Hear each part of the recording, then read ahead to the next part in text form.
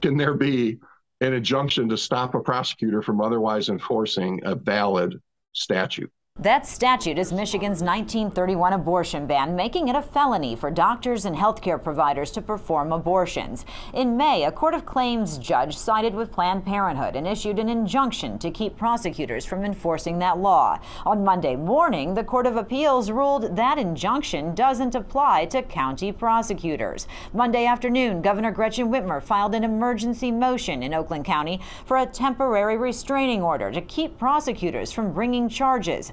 Judge Jacob Cunningham granting that order. We had no opportunity to respond, no opportunity to weigh in on the issues. And in our opinion, this is a egregiously wrong uh, injunction that the judge has issued.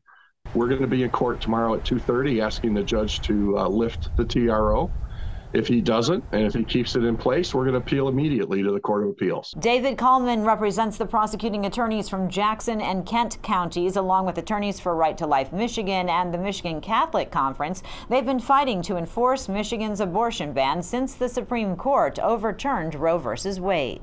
This is a, a very important moment when we're thinking about a law that makes a right that we've had for 49 years a felony, no exceptions for rape or incest.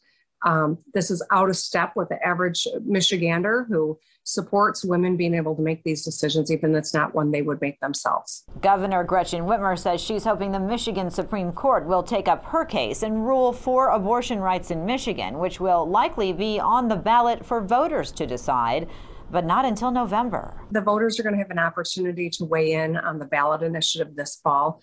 What I've been trying to do is just simply preserve the same rights with the same conditions that we've had for 49 years. But anti abortion advocates say Michigan's 1931 abortion ban is the condition, the law that should be enforced. The duty of a state is to uphold laws to protect the health and welfare and safety of the people. And so, you know, it's really sad to see the governor and the attorney general of Michigan refusing to enforce the laws that they have sworn to uphold. The next hearing is Wednesday afternoon in Oakland County. Amy Lang, Fox 2 News.